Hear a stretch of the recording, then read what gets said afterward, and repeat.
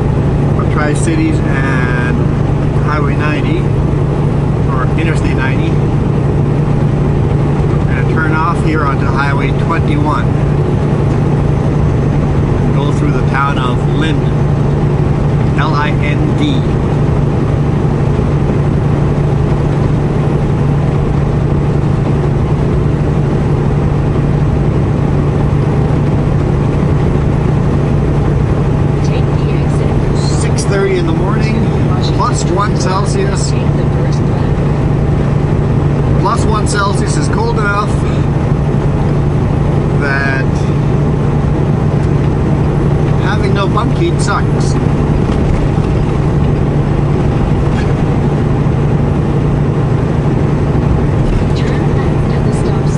For some reason, my bunkie decided it was not going to turn on last night.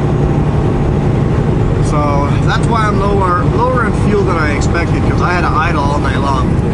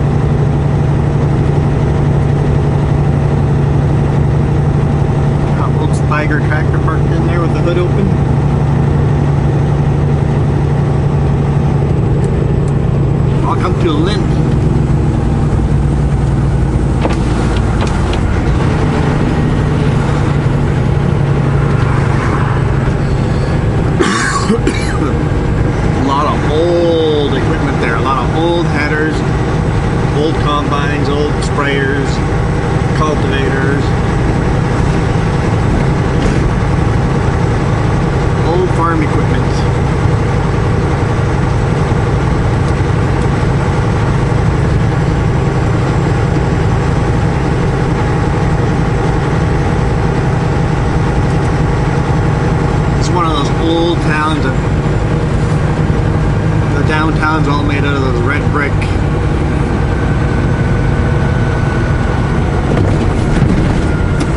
Turn left on North High Street.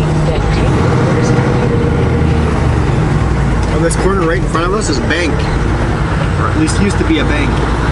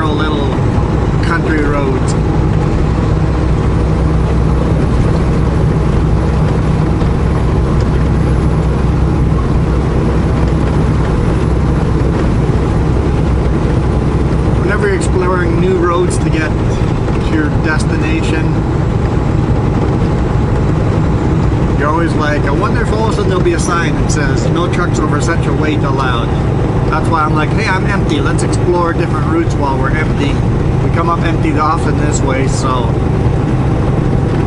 since we come often this way, and the other truck drivers say they always take shortcuts, and I kind of go, ah, whatever, I'll keep going through Spokane. And then I hit rush hour really bad the one time. I'm like, well, let's go try these other alternative routes. And these alternative routes are not slower. And I think they're going to be quite a bit quicker if there's a rush hour in Spokane. And quite a bit less miles, so save the company fuel. And so far the road's decent. I mean, it's narrow, but it's not busy. It's really, really dead. There's a few cars here and there. The few cars you see, they all wave.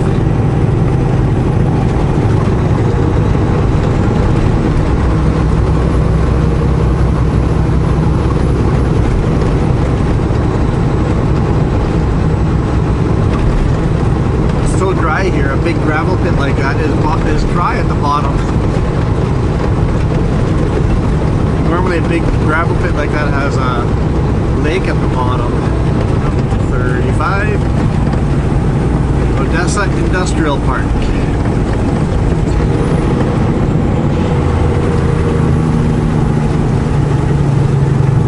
Ah, so the town's at the bottom of a little valley. Yeah, it's kind of a nice view of the whole town. Very small little town. A Bunch of grain elevators.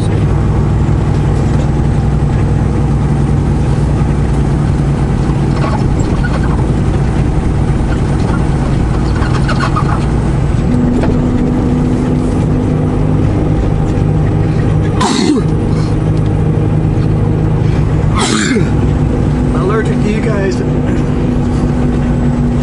I think what it is is the air freshener in here.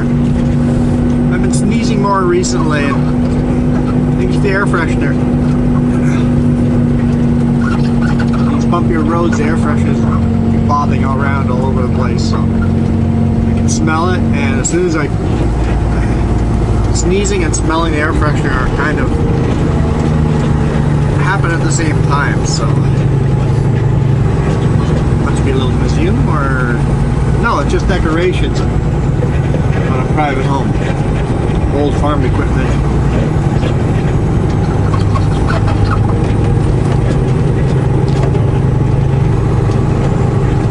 Entering Odessa.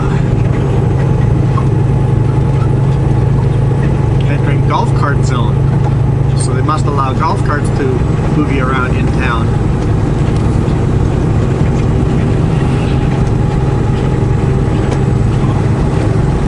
It's all coming soon. Uh, Odessa. So, German.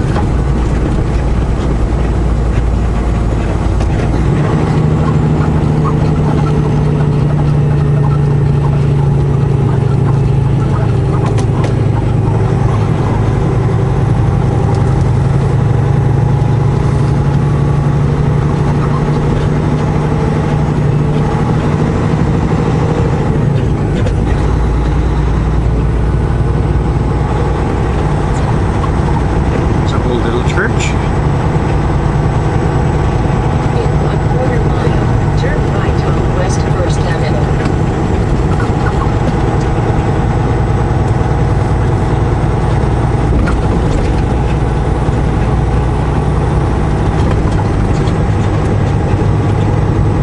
Downtown here, we got more of those uh, old brick buildings.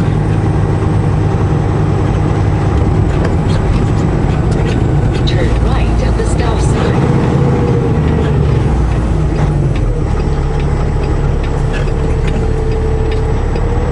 Union State Bank. Once again, right at the main intersection of town, there's a bank. Obviously, no longer the bank, but the bank names are carved into the rock.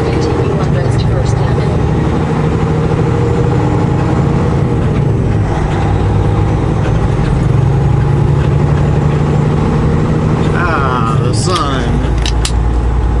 Wrecking our view of the town.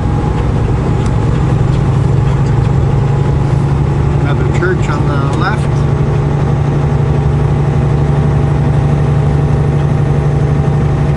I guess it's a different, it's not really wrecking the view, it's just a different view of the town.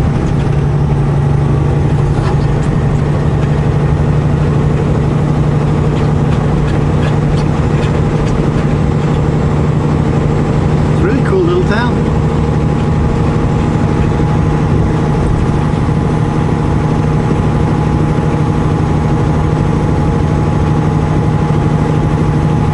Looks like this heyday, or the heyday of this town came a little later, and there's you got the old red brick buildings, but then you also have more of a lot of houses that are a little bit more modern than the Looks like the heyday of this town was the 60s.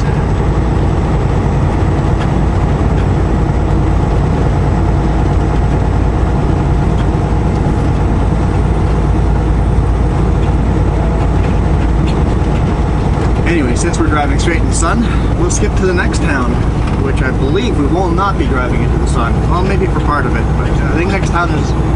Oh, we might be driving into the sun. I don't know what the next town is. Oh, here's a sign. Here's the sign. Uh, Harrington is the next town, 23 miles. Might be still driving in the sun, but we'll get what we get.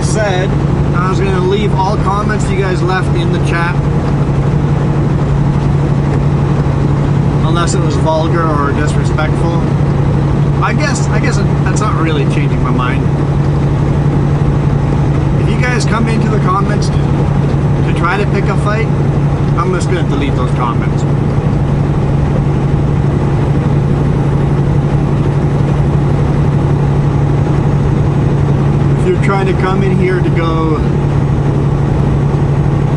share your extreme ideas or whatever, I'm gonna delete those comments. If you come here and go, hey, I'm a conservative a Trump supporter and this is why I believe these things, and you're not coming in here to pick a fight, great. If you come in here as a liberal and say, hey, this is why Biden's ideas are great, and you're not here to pick a fight, great. Don't come in here. Some, some of the comments that I got the last couple days have been downright argumentative. It's like, no, I don't mind having a good debate, but if you're here just for a contest to see if you can start a fight, I will delete those comments. There's no no need for that. I, I don't mind a civil conversation, but uh, calling someone else out, yeah, I, I don't have the time for that. So, goodbye.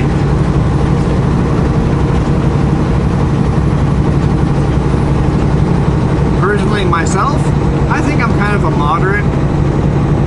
I've grown up conservative, but I'm, I think I'm fairly moderate. I, I accept everybody's beliefs. Can't stand the extreme, the extreme sides. And both left and right have extreme sides, and more than just left and right.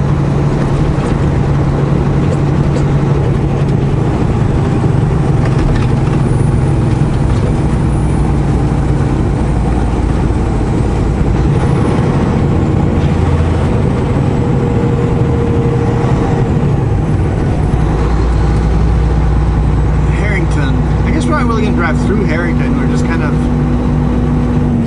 bypassing it.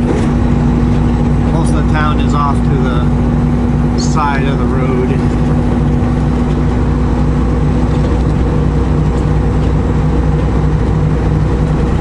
Yeah, not much to see here. Arriving at State Road 28 north. But yeah, Continue on State Road 28 north. 99.9% of your comments have been no problem, but I guess as I get a little more popular, they'll have a couple of people coming in that want to pick a fight. And I guess even me, every now and then, I say something that's there to pick a fight, so we all have bad days. So if of a sudden you have a bad day and commented something that was argumentative, you're trying to pick a fight, just go back and remove your comment. No harm done. We all make mistakes. Oh look, there's a train up there.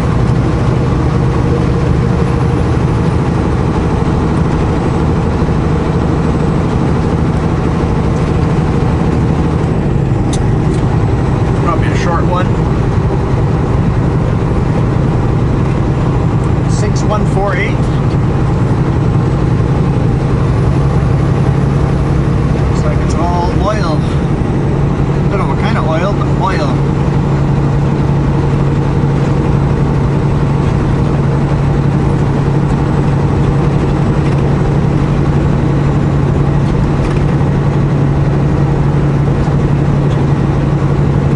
That's a longer one than I thought it would be.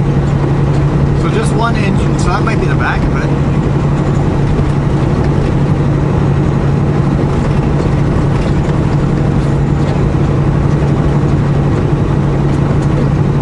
Ah, See this end over here has got at least one engine, maybe two. Hard to tell from way over here.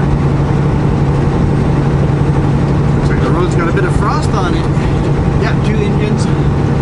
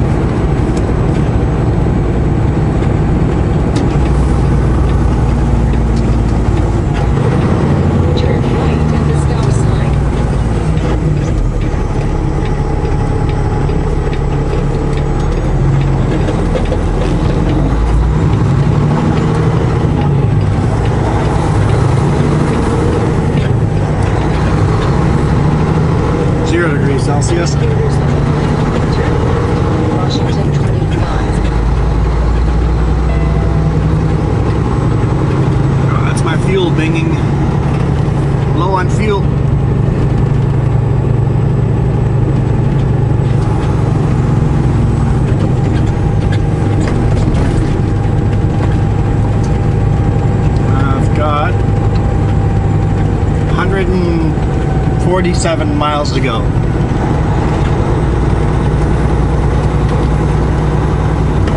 Should be okay.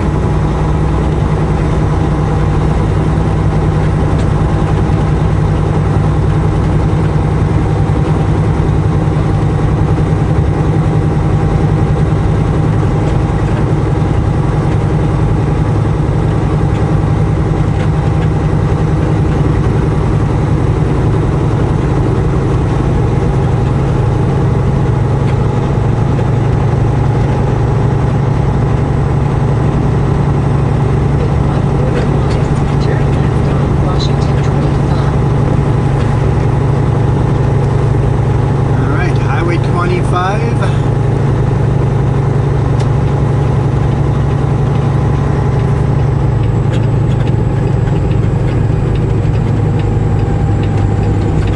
Turn left on Washington 25.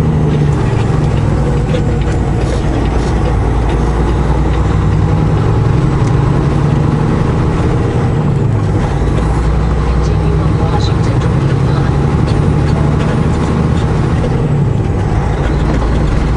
I showed you guys this road two weeks ago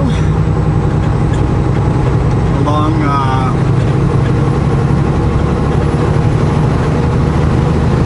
uh, Roosevelt Lake.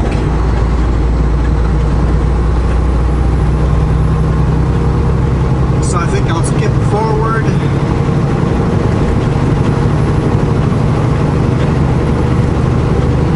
And uh, see if today's the day I run out of fuel or not.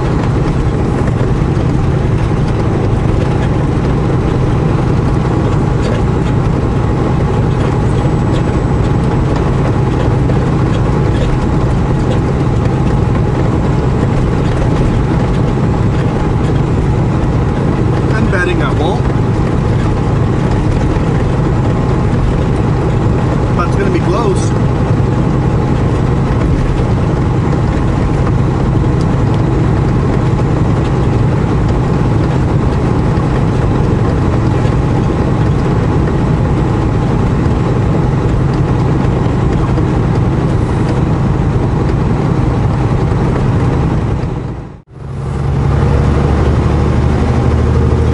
Just fueled up at the Essen up there on the left hand side. I guess that means we made it.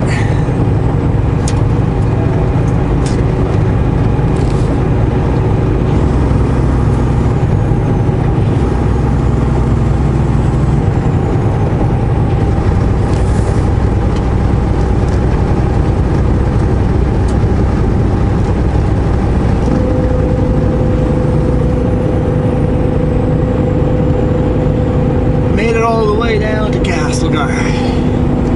Yeah, the, needle was all the way down. It's like, at least on the uh, the left tank was all the way down. Uh, the right tank still had an eighth of a eighth of a tank left in there. So I put in 840 liters of fuel, and from what we can gather, I have about 900 liters of usable fuel. So.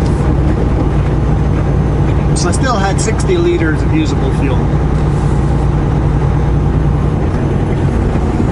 Not much.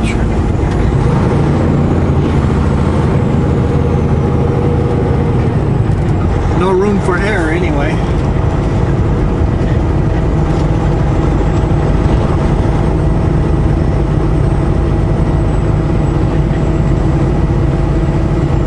But now that I know my bunk heat is acting up, keep that in mind.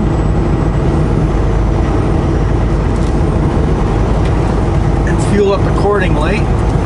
Hopefully it's just a one night thing. Hopefully it works tonight. If it doesn't work tonight, I'll put in a chop request. Because it did that once before, where it didn't work for one night. And that was a long time ago. And just all of a sudden there's a day where it just didn't work. And then it worked again after that. So if it doesn't work tomorrow or tonight, tomorrow morning I'll send in a shop request and say, hey, probably need this to be looked at or else we're going to be burning a lot of fuel.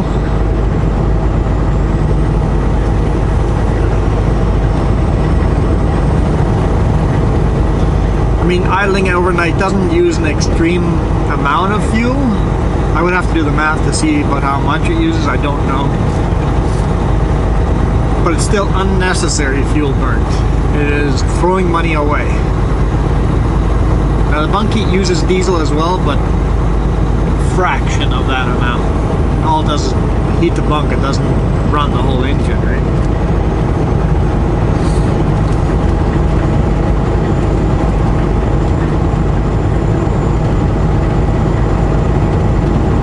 And I don't know exactly how APUs work. The bunk heat, call them APUs. Auxiliary power units, I think. APU. I could be wrong.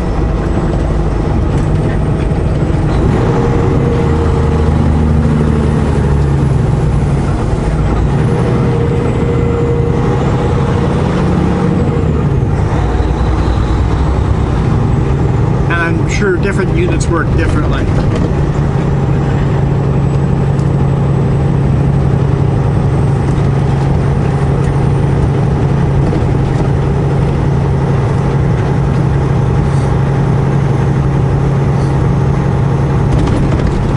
And at least here in BC, trucks that have APUs in them are allowed to carry 200 kilograms more weight. So I'm allowed to be 200 kilograms overweight on my steers or drives combined.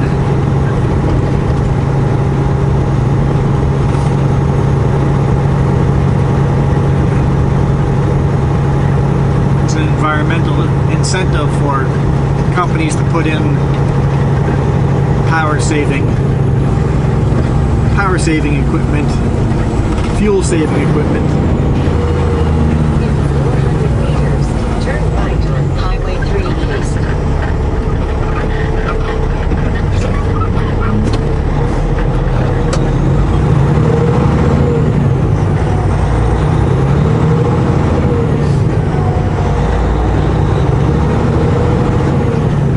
Must be hungry.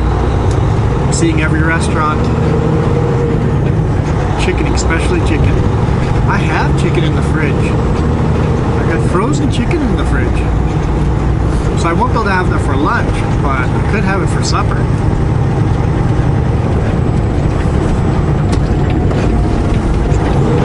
Turn right on the traffic light.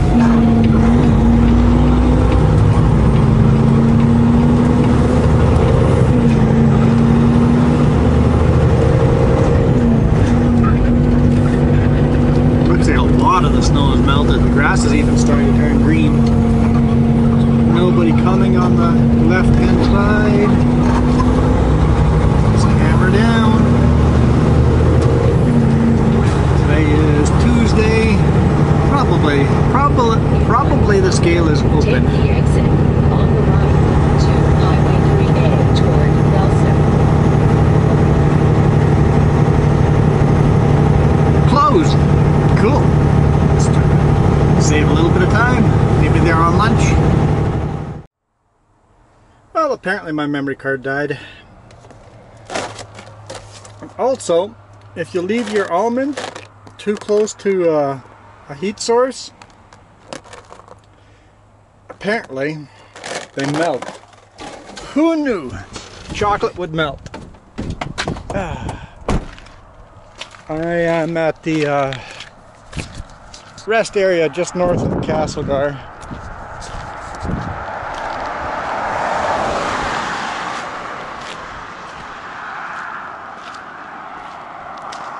And the forklift driver came through for me. You notice there's a tarp not used on the front? Forklift driver managed to get the whole load into 42 feet which means I only have to use two tarps.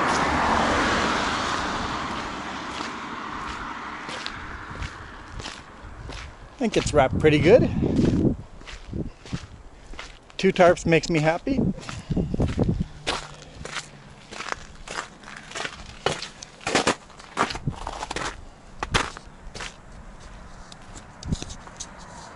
I like it. So anyway guys, thank you guys for watching. Thanks for putting up with my rants. I think we can all be friends. And I'll see you guys tomorrow.